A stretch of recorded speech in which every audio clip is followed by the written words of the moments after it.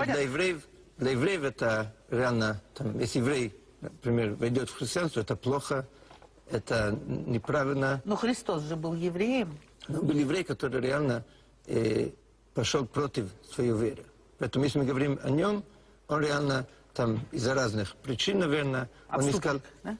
искал э, там другой путь, и который привлекал, э, наверное, много людей, и который там стал более такой привлекательный.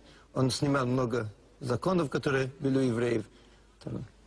И дальше уже все стало там более легкая религия, если можно так говорить, потому что еврейство намного там, э, более ответственное, и там, например, там то, что нельзя есть. Да? Второе, это в Библии, это Старый Завет, написано очень четко, какие животные нельзя есть, какие рыбы нельзя есть.